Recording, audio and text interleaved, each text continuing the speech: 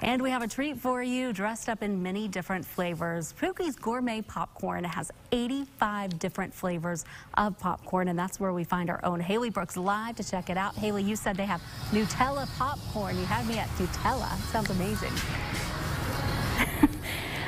Mallory, I know I'm going crazy in here. I mean, look at all this popcorn. It's amazing in here. Me and Lauren, my photographer, have been trying popcorn, I think, for like the last hour maybe, and we're still not through all the flavors. We have Kim Simmons here, who is the owner, and she's going to tell us about all the magic that goes on here. Tell me about all this popcorn. Well, we started out with 25 flavors almost two years ago, and we are up to 85 flavors. That's crazy. And you do like seasonal ones. Like you just did an Easter one. So you, I mean, it's 85, but it fluctuates because you do even more. Yes, each holiday, Super Bowl, uh, you know, um, we make king cake. I mean, Easter. That's so much fun. And you go through a lot of it too. How many pounds do you make every single day? Because you do a lot of it fresh every single day, so people come in and they get a good batch. So how much are we talking here?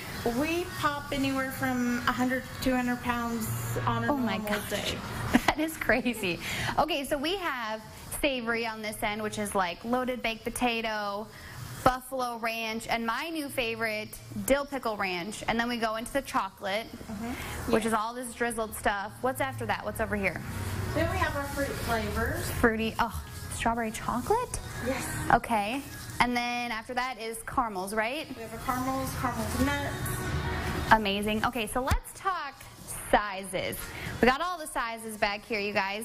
From like your reasonable snack size all the way up to a small child's, which this would be the size for me and everyone at the newsroom. I think we would just take that whole thing home with us. and which one is the most, do you think that you guys saw a lot of the XL or what ones?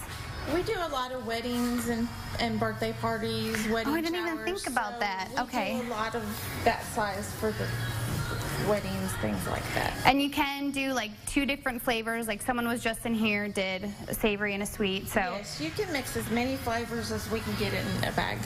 okay, let's talk about where this name came from. Look at this cutie. Tell me who this is. That is Pookie.